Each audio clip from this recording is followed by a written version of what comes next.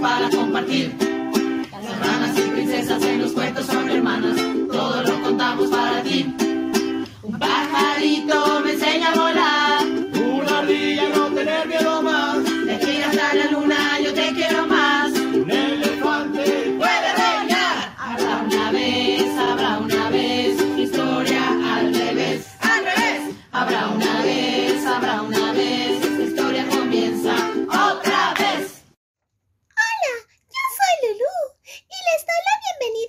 Llamada Biografías.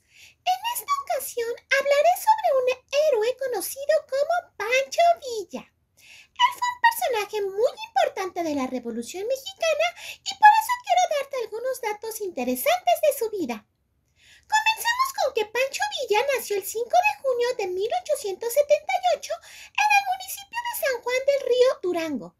Su nombre real era José Doroteo Arango Arámbula y él vivió y trabajó en la hacienda de la familia López Negrete.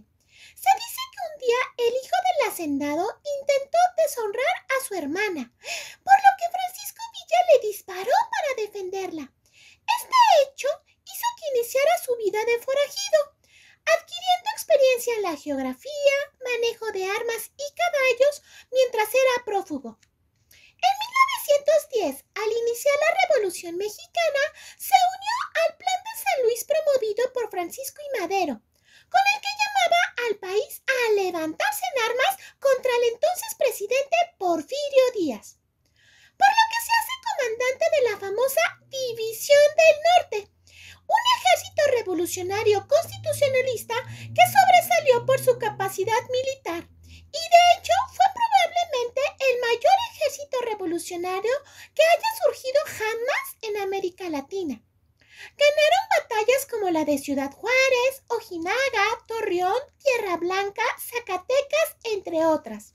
Algo que también se caracterizó este ejército fue la famosa escolta personal de Villa, conocida como los Dorados. Estaba integrada por jefes y oficiales. El compañerismo y la confianza que existía entre sus miembros era tal que cualquiera podía tomar el mando en cualquier momento y los demás le seguían sin cuestionamientos. La sola presencia de esta fuerza imparable podía definir el destino de una batalla. A Pancho Villa también se le conoció como el Centauro del Norte, porque siempre se le veía galopando con su caballo y se enfrentaba valientemente en las luchas, pareciendo un centauro. Por eso es que lo vimos representado así en lo que fue Valle de Catrinas de la edición 2024. Uno de sus caballos famosos fue Siete Leguas. Se dice que se llamaba así porque podía recorrer una distancia de 42 kilómetros en lugar de los 30 kilómetros que recorre un caballo en promedio. Otro dato interesante de este héroe es que no le gustaba el alcohol, por lo que siempre ordenaba la destrucción de estas bebidas cuando tomaban alguna ciudad. Se dice que incluso condenaba a muerte a sus oficiales si los descubría que habían tomado bebidas embriagantes, ya que consideraba el alcohol como uno de los peores vicios que un hombre podía tener, además de que consideraba que el alcohol era la causa de la miseria de los pobres. ¿Ustedes sabían que Pancho Villa fue gobernador de Chihuahua? Ah, pues el cargo lo asumió el 8 de diciembre de 1914, pero solo duró 30 días. Dicen que a su gestión se le conoce como las cuatro semanas que estremecieron a Chihuahua, porque en ese tiempo ordenó bajar los precios de la carne, maíz y frijol, estableció la ley seca, creó el Banco del Estado, imprimió sus propios billetes, decretó la confiscación de bienes a los ricos de, de los grandes terratenientes, prohibió los latifundios en Chihuahua y además fundó en un mes 50 escuelas, ya que para él era muy importante que los niños tuvieran acceso a la educación. Uno de los eventos más recordados de Pancho Villa fue después de tomar Zacatecas, pues se dirigió a la Ciudad de México y entró triunfante junto a Emiliano Zapata el 6 de diciembre de 1914. Acudieron a Palacio Nacional y ahí se tomaron una foto muy famosa donde se le ve a Villa sentado en la silla presidencial. y a un lado de él está Emiliano Zapata. Este hecho marcó la ruptura entre Venustiano Carranza y Francisco Villa, lo cual dio inicio a una lucha que finalizó en 1915 con la derrota de Villa en las batallas de Celaya. Otro evento importante que hizo pasar a la historia a Pancho Villa fue lo que ocurrió en 1916, pues efectuó una invasión con sus tropas a Columbus, Nuevo México, en Estados Unidos, debido a que estaba muy molesto con nuestro país vecino porque estaba apoyando a Venustiano Carranza, pero también se dice que le habían vendido armamento defectuoso, lo que provocó la muerte de muchos integrantes de la División del Norte. El gobierno norteamericano ante este hecho realizó una campaña militar al mando del general John Pershing para localizar a Villa y capturarlo. Sin embargo, no tuvieron éxito. Posterior al asesinato de Venustiano Carranza, pactó una amnistía con el presidente interino Adolfo de la Huerta. Francisco Villa cesó sus, sus, actividades revolucionarias y se retiró a la hacienda El Canutillo en Parral, Chihuahua. Lamentablemente fue asesinado en una emboscada el 20 de julio de 1923. Pero aquí no acaba la historia de este héroe, pues en 1926 alguien entró al Panteón de Chihuahua, exhumó el cuerpo para robar su cráneo. Se dice que fue extraído para vendérselo a los yanquis, pero realmente nunca se supo el por qué y dónde quedó.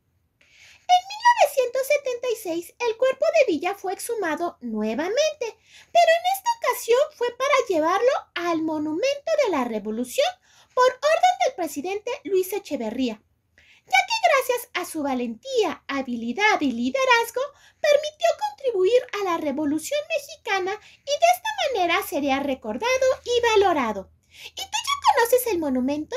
¿No? Bueno, pues te invito a que acudas a la Ciudad de México y lo conozcas. Realmente está bastante interesante conocer toda la historia y las exhibiciones que ahí encontrarás. Muy bien pues espero que hayan aprendido muchísimo más de este héroe revolucionario y yo los veo en otra ocasión. Muchas gracias por su atención. Nos vemos. Adiós.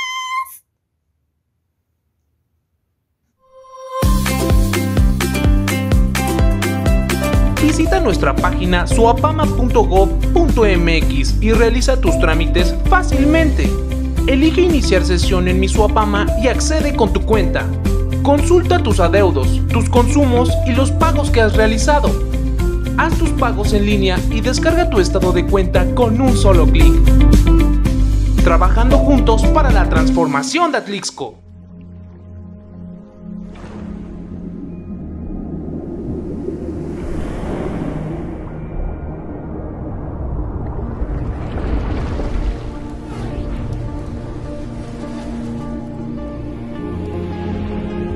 Agua Santa María llega a ti después de 12 años de filtrarse por la naturaleza y no por máquinas. Santa María, de la naturaleza para ti.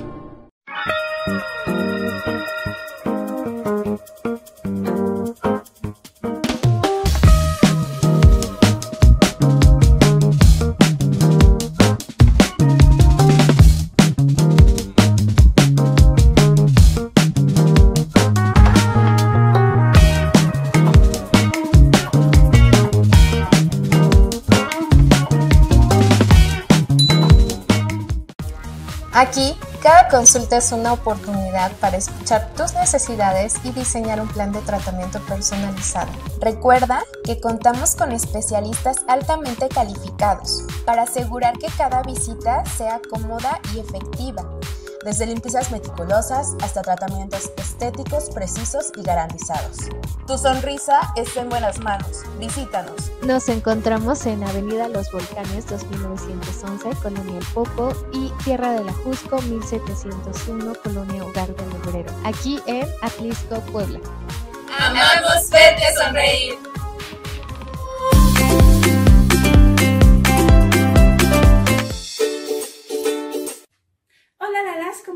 Están? Yo soy Yola Lili y les traigo una historia de la Revolución Mexicana. Esta es la historia de Petra Herrera. Petra, como muchas mujeres, se unieron a la batalla. Estas mujeres eran conocidas como Adelitas. Ellas se caracterizaban por usar faldas muy largas, en las que podían esconder contrabando como medicinas o alimentos. Petra se unió a ellas, pero ella no quería ni ser enfermera, ni cocinar. Lo que ella realmente quería era participar en la batalla, como todos los hombres. Inclusive, alguna ocasión, ella se acercó a un general para pedirle su autorización. El general, que llegaba cabalgando en su caballo,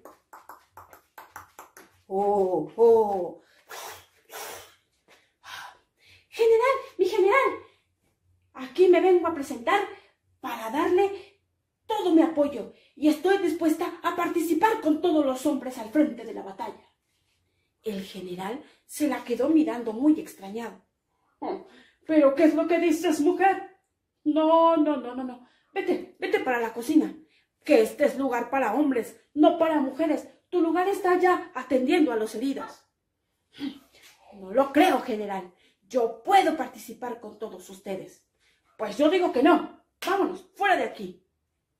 Petra estaba muy, pero muy enojada. puede ser posible. Solo por ser mujer no me dejan participar. Esto no puede continuar así. Petra pensó qué podía hacer para poder hacer lo que ella quería. Así que muy decidida, se quitó el rebozo y se puso pantalones. Así que se hizo pasar por Pedro Herrera. Sí, señor. Ahora ella, para todas las personas, era Pedro. Logró engañar a muchas personas. Inclusive en las noches, ella preparaba jabón y se lo ponía en la barba. Y cuando llegaban a verlo, le decían, Pedro, Pedro, ven para acá. Déjame, déjame. ¿No ves que me estoy rasurando? Es que este bigote me crece muy rápido. Y así lograba engañar a todas las personas que se acercaban a ella. Como Pedro ganó muchas batallas, pero cuando ella ya había logrado tener un lugar, fue cuando se decidió a demostrarles que ella era Petra, no Pedro. Muchos se molestaron con ella, inclusive el general Villa estaba muy molesto y no estaba dispuesto a reconocer todas, todas sus hazañas. Petra estaba realmente furiosa, pero sobre todo muy decepcionada, porque había logrado muchísimo y no se lo querían reconocer. Desertó de ese batallón y se unió a las tropas de, de Venustiano Carranza. Pero él tampoco quiso reconocer su labor como mujer guerrera. Así que Petra, muy decepcionada, dejó todo porque se dio cuenta que no valía la pena. Estaba inclusive arriesgando su vida, aunque a ella no le importaba. Tiempo después, Petra tuvo que buscar un trabajo y le dieron un trabajo en una cantina.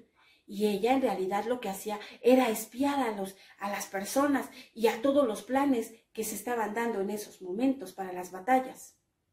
Pero una ocasión, como ella era muy, pero muy, muy valiente, no le importó y, y se quiso defender de unas personas que andaban ahí tomándose unas cervecitas.